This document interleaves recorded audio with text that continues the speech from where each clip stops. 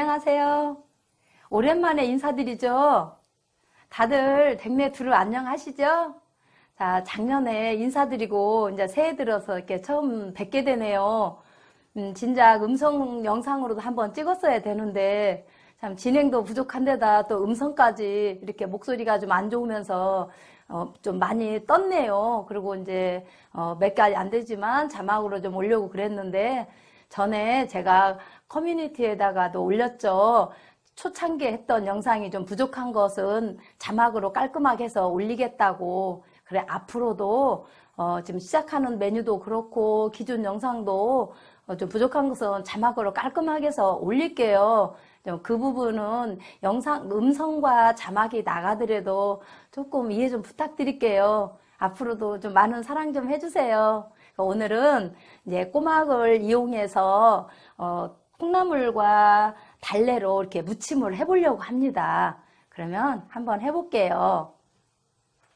자, 꼬막은 이제 일반 꼬막이에요. 요게 이제 1kg인데 요거를 이제 한 세 번 정도 깨끗이 씻어가지고 바구니에 받쳐서 이 꼬막 1kg에 물 1리터에다 종이컵으로 한 소금 반 컵 정도만 잘 풀어서 이렇게 담궈 놓으세요.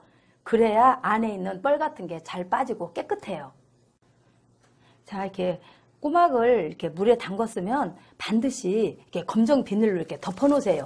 이렇게 해 놓으면 얘네들이 이렇게 뻘 속인 줄 알고 이렇게 뭐 이렇게 뻘 같은 경우 뻘, 뭐 부유물 이런 거를 잘 뱉어낸대요. 그래서 이렇게 한번 걷어보고 이렇게 해서 보면 엄청 나왔죠. 네, 이렇게 해서 씻어서 다시 한번 씻어서 삶으면 됩니다.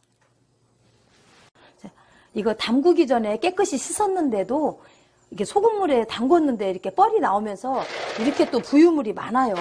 그래서 이것도 역시 한번 이렇게 깨끗이 씻어주세요.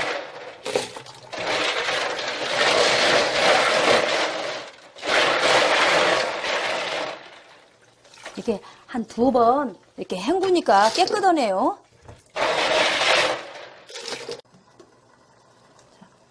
꼬막 1kg를 할 때는 물 한 1.2 정도만 끓여서 데치면 딱 맞고 좋아요. 자, 끓, 끓으니까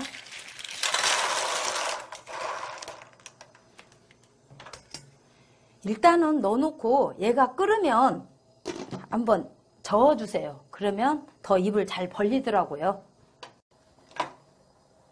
자, 넣기 시작해서 3분이 지났어요. 이 정도 되니까 이렇게 잘 벌어지죠? 이때 한 번만 휙 젖어 주세요. 그러면 이 탄력에 의해서 안 벌렸던 것도 더 이렇게 잘 벌어지네요.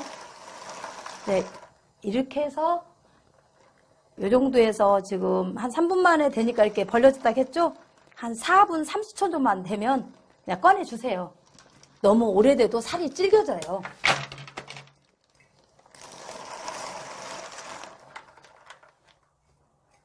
이 꼬막 삶은 물은 버리지 말고 좀 조그만 채망에 이렇게 받치서 맑은 물 좀 받아주세요. 이런 부유물 있으니까 다 붓지 마시고 꼬막물이 맑고 좋죠? 여기다가 꼬막을 까가지고 여기다 한 번 더 헹구면 지근거리지 않고 너무 좋아요. 그래서 이렇게 해서 잠시 식혀두세요. 꼬막 까는 동안.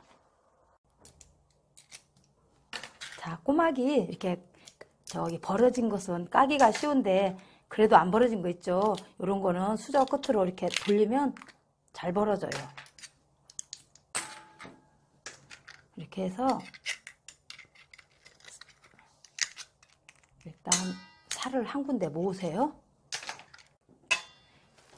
이게 담궜다 해도 그래도 이렇게 까면서 조개 껍질 같은 게 이렇게 조금씩 그 파편이 묻으면 지금거리더라고요. 그렇게 다 했으면 이게 삶은 물 있죠. 이게 맑은 물 여기에다가 한번 넣어서 헹궈 주세요.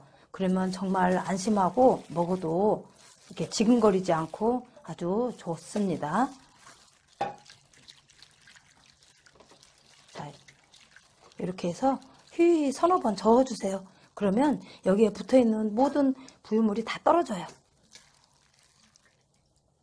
자, 콩나물을 좀 삶아 볼게요. 콩나물이 이게 지금 400g인데 물 한 1리터 넣고 끓였어요. 이 뜨거운 데 넣었죠. 한번 이렇게 휙 뒤집어주고 뚜껑 덮어주세요. 자, 콩나물은 너무 많이 할 거 없어요. 한 3분에서 3분 30초만 해주세요.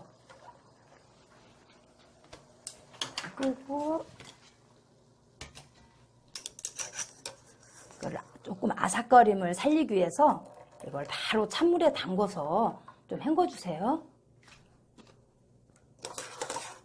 이렇게 찬물에 여기서 온기만 좀 빼주면 돼요.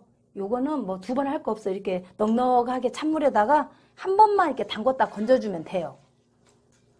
그러면 양념을 해볼게요. 요거는 달래는 50g인데 달래 다듬고 씻는 건 다 아시기 때문에 안 했는데 이제 처음 혹시 우리 세댁분들 아실까봐 이것만 이렇게 이런데 꼭지 있죠. 이런 것만 떼주세요. 그리고 요즘은 달래도 깨끗이 나와서 크게 신경 안 써도 돼요. 이제 그러면은 이걸 하는데 요런 마늘같이 생긴 이 뿌리 부분 있죠? 여기를 이렇게 칼등으로 이렇게 아니 칼 자루 밑으로 이렇게 콩콩 찍어주세요. 그래야 달래 향도 더 나고 먹기도 좋고 이게 다 찍었으면 이거를 쫑쫑 썰어주세요.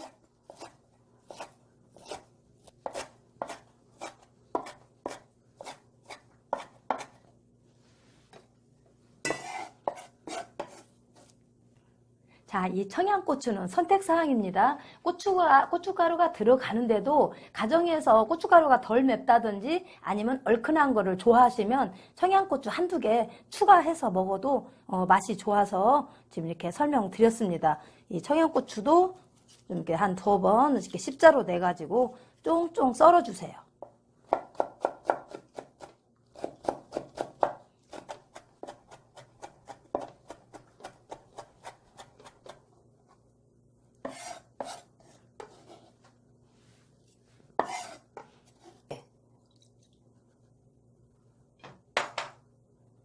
생수도 간장과 동량으로 열수저 액젓 한 수저 고춧가루 이게 수북이 두 수저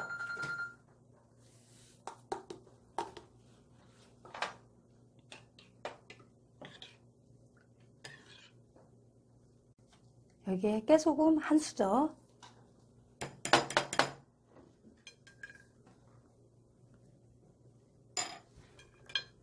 이제 다진 달래.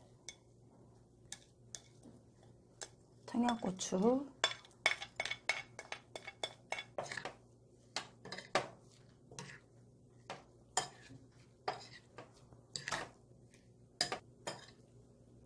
자 여기에 참기름 한 수저 추가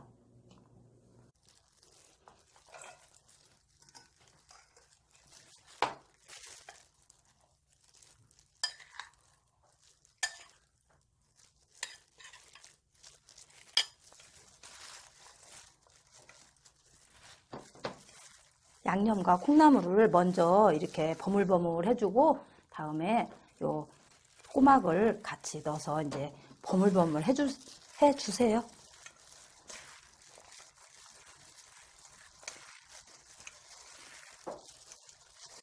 자, 콩나물과 달래를 이용해서 여기 꼬막 무침이 다 완성이 됐어요. 이제 보통 그 꼬막에다가 장을 쳐서 이렇게 해서 드시죠. 그 달래장을 이렇게 해서 먹, 먹을 수 있으니까 요거는 특별히 설, 설명을 안 드렸고 이제 그 콩나물 묻혀서 하는 거를 이렇게 해봤습니다. 요리 보통 그 꼬막 1kg 해도 이렇게 해서 식구들하고 먹다 보면 양이 좀 적기는 하죠. 근데 이렇게 콩나물을 이용해서 이렇게 하면 양도 많고 맛도 정말 괜찮아요. 그리고 그래서 이게 밥 반찬에도 좋고 또 이게 밥에다가 입맛 없을 때 있죠? 요거다고 이렇게 한번 비벼서 어? 이 꼬막하고 한번 드셔보세요. 맛이 좋습니다. 밥에 비벼서 한번 드셔보세요.